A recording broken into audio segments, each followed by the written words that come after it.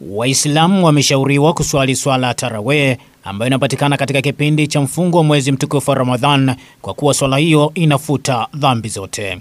Ushauri huo umetolewa na Sheikh kutoka msikiti wa Almasjidi Taufik Block Q Soweto jijini Mbeya, Sheikh Suleiman Shaibu Salum kwenye swala ya Ijumaa ambayo ni swala ya kwanza mwezi mtukufu wa Ramadhan kwa mwaka 2023 ambapo amesema katika swala za kawaida waumini huwa wanajaa msikitini, lakini katika suala ya tarawih hawaonekani. Leo hii msikiti unajaa vizuri, unapendeza, lakini inapofika muda wa sunna ya tarawehe watu wote wanatoka, inabaki tu swafu tatu nne.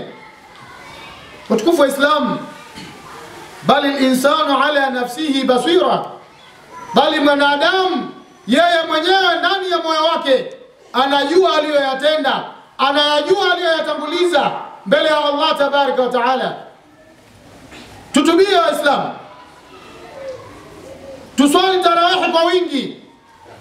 Hebu angalia, ni sunna ambayo haipatikani katika miezi mingine isipokuwa inapatikana ndani ya mwezi mtukufu wa Ramadhani.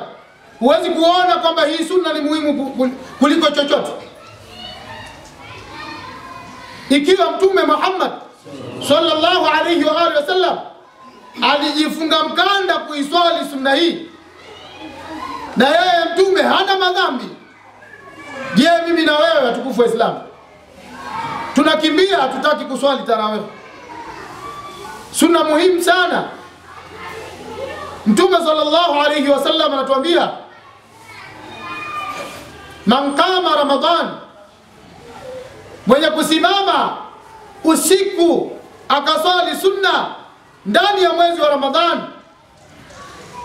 sunnati tarawih, Allahu akbar, imanan wa ihtisaban ghufira lahu ma taqaddama min dhambi, mwenye kusimama akaswali sunna hii ya tarawih, akaswali tahajjud, basi mtu huyu hali ya kumwamini Mwenyezi Mungu Subhanahu wa Ta'ala, ukweli wa kumwamini na kumwamini mtume wetu Muhammad sallallahu alayhi wa alihi wasallam, wa ihtisaban na kutaraji malipo mbele ya Allah tabaraka wa taala, kwamba yeye anaswali si kwa ria, kwamba amuonyeshe Sheikh Suleiman, amuonyeshe Imamu Ilyasa, amuonyeshe sijui rafiki yake fulani, kwamba yeye anaswali tarawihi.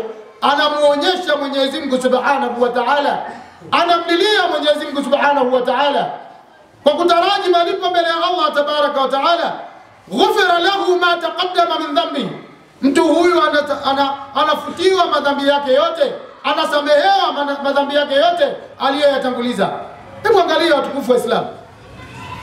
Amesema ni vyema kuutumia mwezi mtukufu wa Ramadhani vizuri kwa kutenda matendo mema na ya huruma, na utaratibu huo uendelee katika kipindi chote cha maisha ya Muislamu, huku akikemea baadhi ya wa Waislamu wenye tabia ya kutenda matendo mema kipindi cha mwezi mtukufu wa Ramadhani ukiisha wanarejea kwenye maisha yao ya kawaida. Na hii ndio iwe taratibu ya siku zote, si tu ndani ya mwezi wa Ramadhani. Mtu anakutukana jiondokee, anakutukana nyamaza kimya.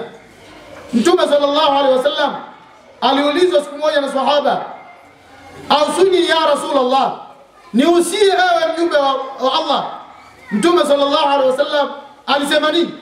La taghdab, la taghdab, la taghdab, dhibiti hasira yako idhibiti hasira yako, idhibiti hasira yako. Hebu angalia watukufu wa Islam. Kwa hiyo kuidhibiti hasira, mafunzo ndani ya mwezi wa Ramadhani, lakini nje ya mwezi wa Ramadhani iwe ndio maisha yetu ambayo tunatakiwa tuishi. Kwa mujibu wa dini ya Kiislamu, mwezi mtukufu ni mwezi ambao Qur'an tukufu iliteremshwa ili tumike kama mwongozo wa maisha ya mwanadamu. Kutoka jijini Mbeya, mimi ni Anthony Komba. Kumbuka kusubscribe chaneli yetu ili uweze kupata notification zaidi. Asante.